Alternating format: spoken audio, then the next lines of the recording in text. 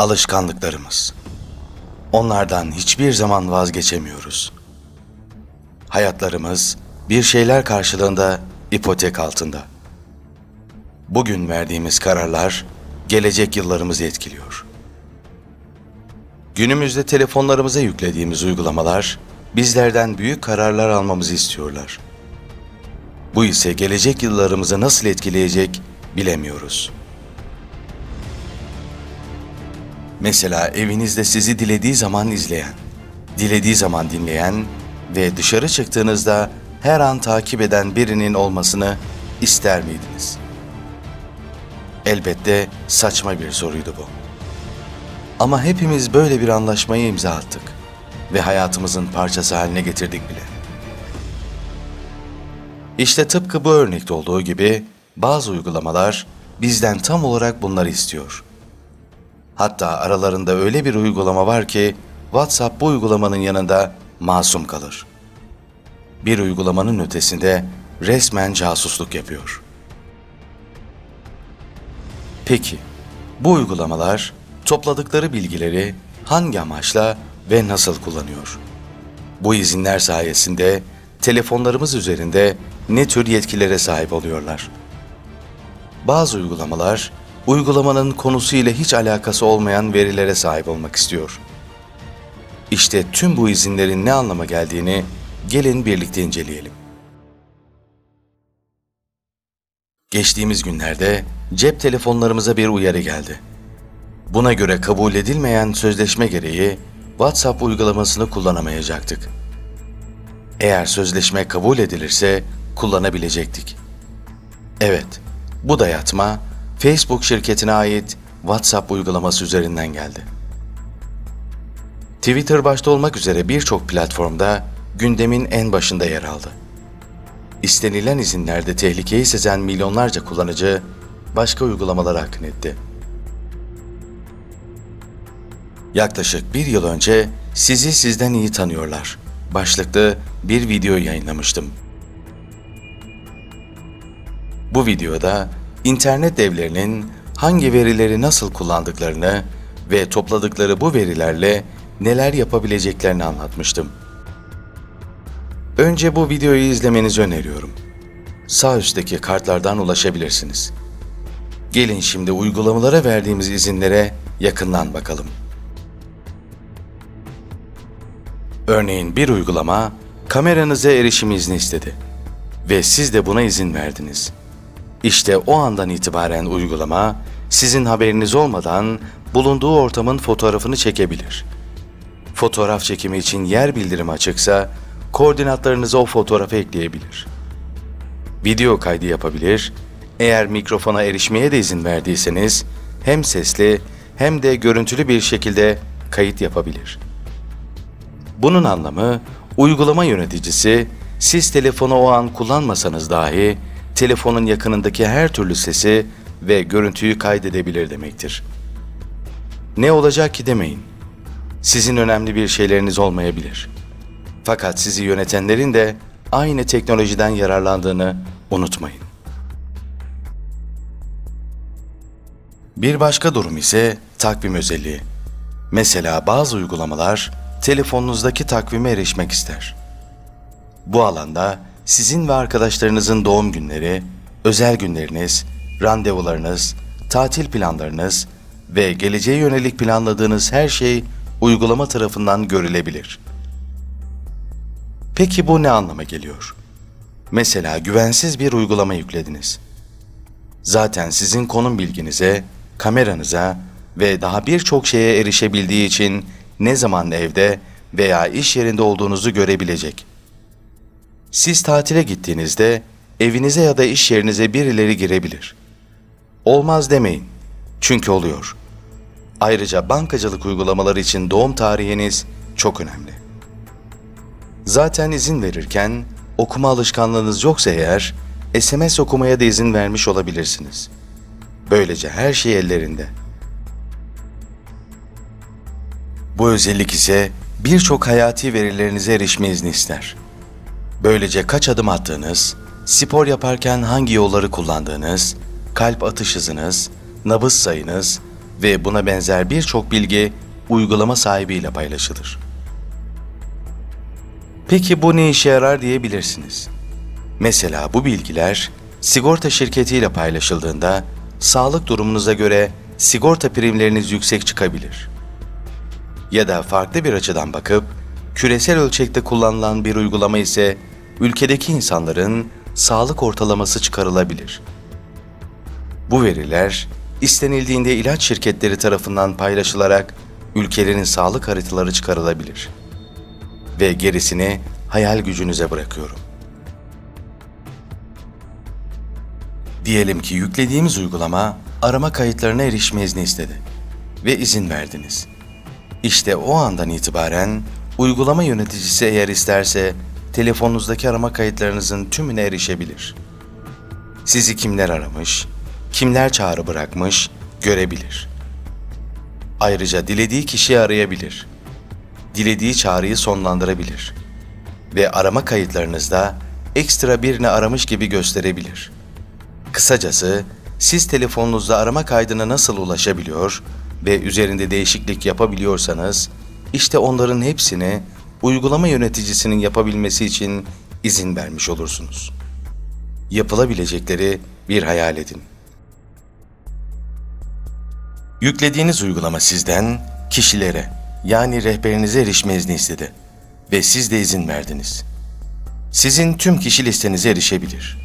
Bu listeyi kendi sunucusuna kaydedebilir ve tüm bunları pazarlayabilir. En fazla ne olabilir ki demeyin.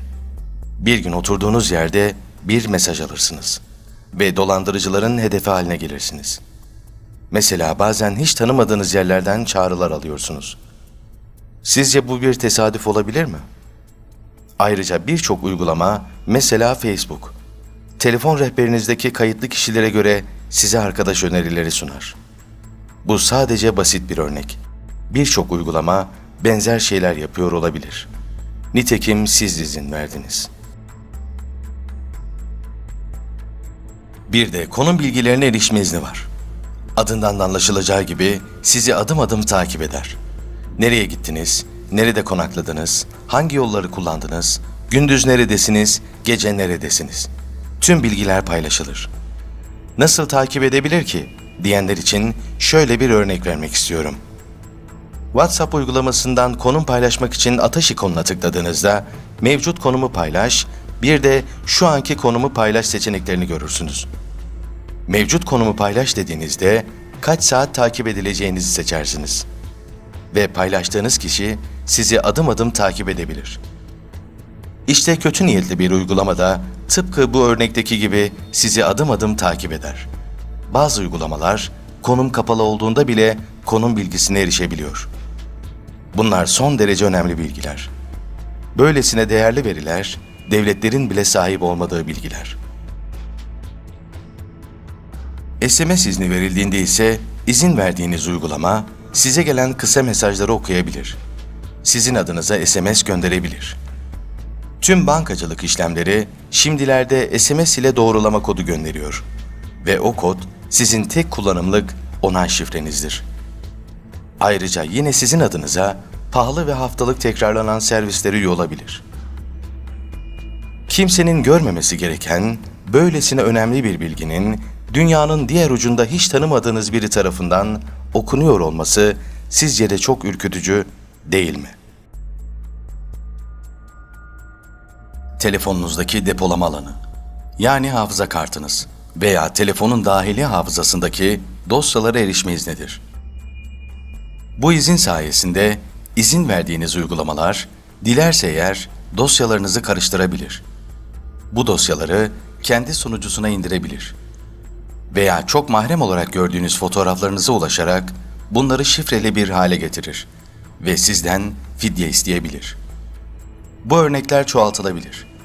Yani depolama izni dosyalarınıza tam erişim yetkisi verme işlemidir.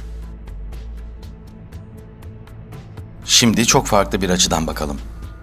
Herkes akıllı telefon kullanıyor. Buna devlet yöneticileri de dahil.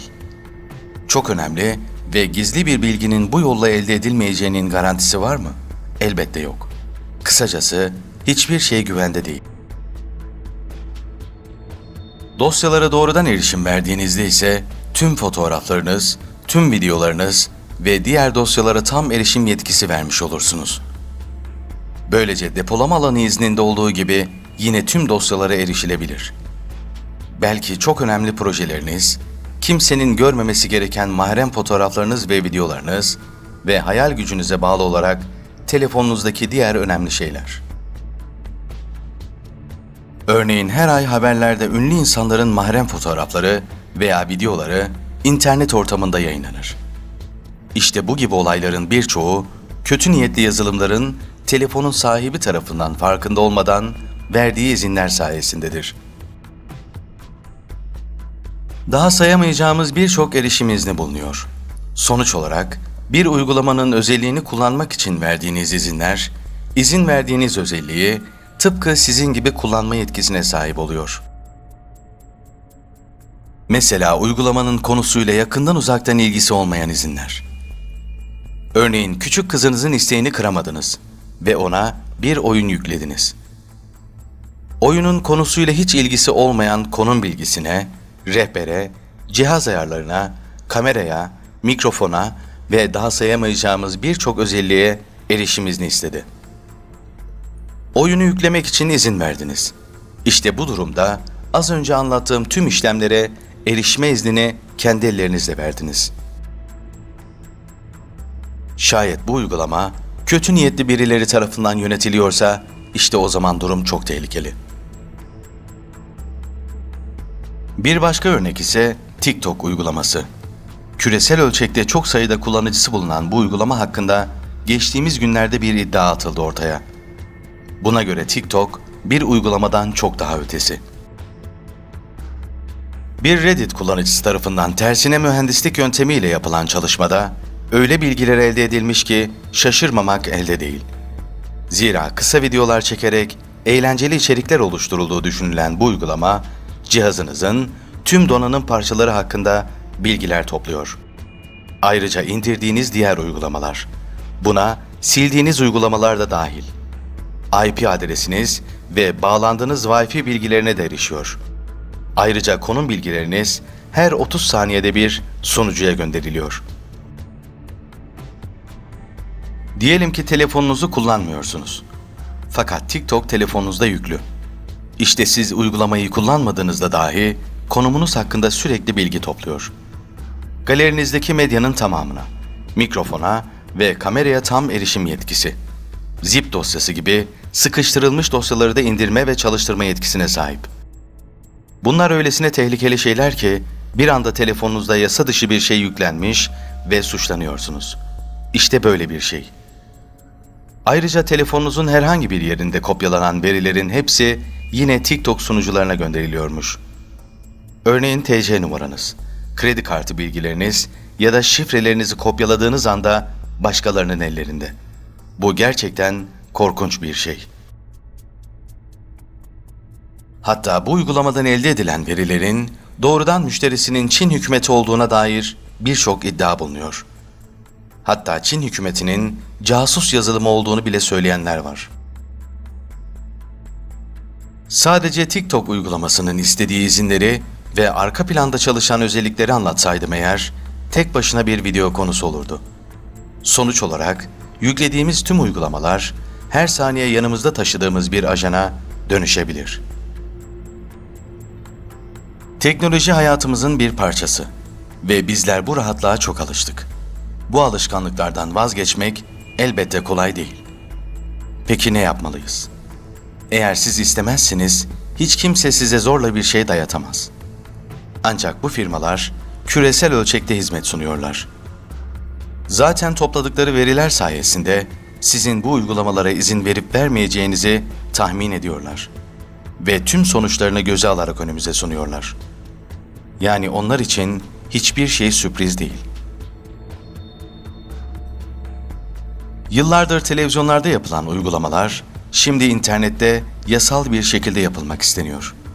Sonuç olarak ne izlediğinize, ne kullandığınıza ve neye izin verdiğinize dikkat edin. Bugün verdiğiniz kararların gelecek yıllarınızı etkilediğini unutmayın. Aslında anlatılacak çok şey var. Fakat sizleri sıkmamak için temel bilgileri paylaştım. Şimdilik müsaadenizi istiyorum. Bir başka videoda görüşmek üzere. Kendinize iyi bakın, hoşçakalın.